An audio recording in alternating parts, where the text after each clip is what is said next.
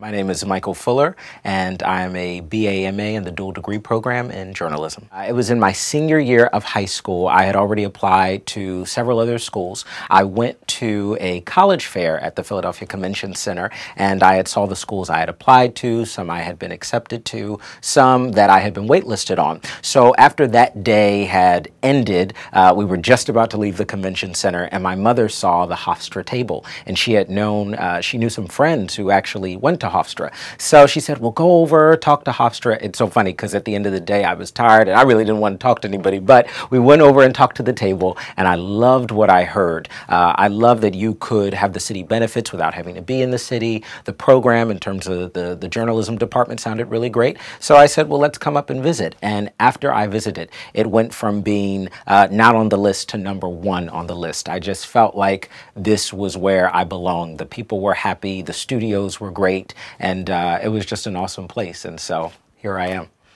Well, you know, as I was here and getting involved with the television uh, network and then also the radio station, I saw that I was getting a lot of great experience, but I wanted even more experience. And the way to get that was to go and do internships, actually in the field, to be out there and to be uh, getting that hands on experience and touching everything that you wanted to do. And so I grew up in Philadelphia, and one of the first internships that I had at a television station was 6ABC, WPVI.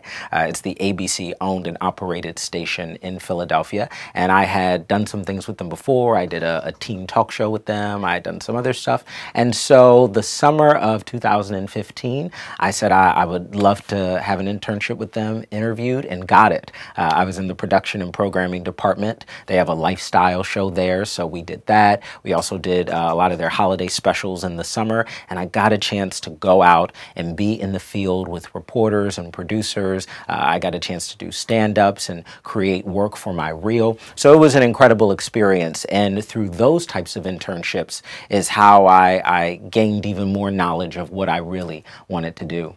After the summer 2015, uh, I knew that I wanted my next internship, and one of my goals was to get an internship at a big network, uh, a major network, because I felt like I'm so close to New York City, I, I, I, should have that opportunity. It's something I wanted to do, and I always wanted to intern at the Today Show. And so, as I said, going into the fall of 2015, I wanted to be there. I applied. I actually was told that uh, there were no more positions left, but come back in the spring. And so I went to the uh, Campus to Career website, which is the NBC Universal website for internships. And I said, well, what else I could, could I do? And so I went and applied for a news internship. I didn't know exactly what was involved with that because there were many different categories, um, but I applied and three days later, gratefully, I got a call saying that uh, we would love to have you come in and interview for a booking internship. I didn't know much about booking. Here I had done the morning show uh, on the radio, and so I did have to host, but also book guests.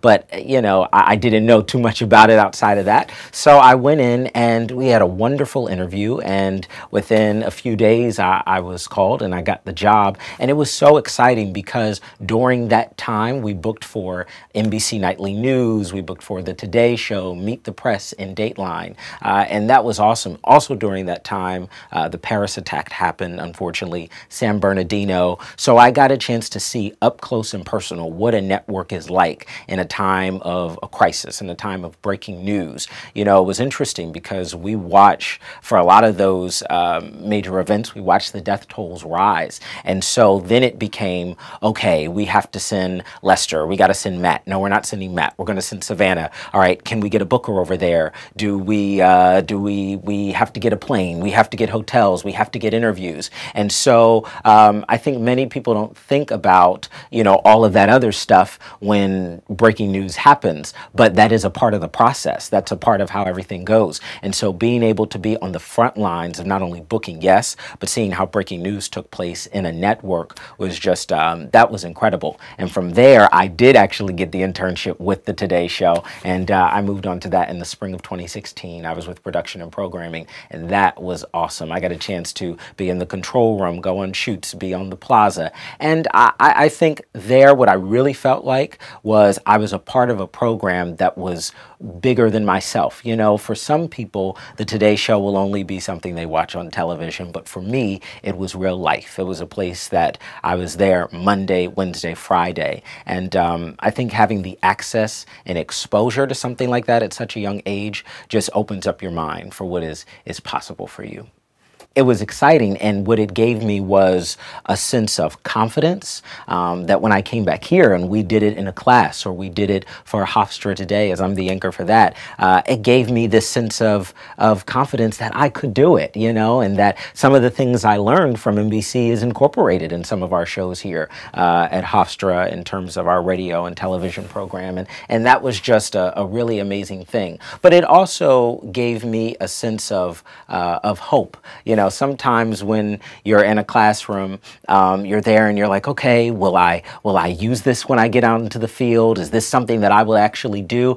And you know, after you've had those internships and you see the very things you're doing in the classroom is the very things they're doing out there, it said, wow, you know, I it, it, actually happens. This is what they actually do in the field. So um, it was it was that wow. I, I, already had hope in my education uh, and faith of, of what we do here, and so it just continued to restore it even more. That when I get out of Hofstra, I will be even more prepared to go into the workforce because of the combined experience of having internships and what we do in the classroom.